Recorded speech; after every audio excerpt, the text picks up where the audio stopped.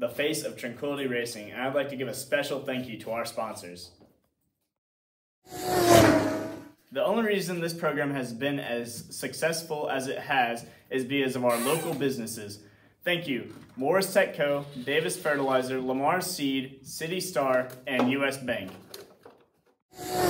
Help and support, we have been able to buy two new RC cars, 3D print a drag body, and buy new parts for the car.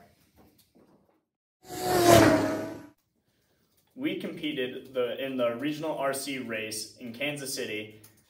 During that race, we won most laps in 10 minutes, most laps in 30 minutes, fastest lap in 5 minutes, and the fastest drag car. We also had the best looking car. Thank you again. We plan on competing next year and we hope to work with you in the near future.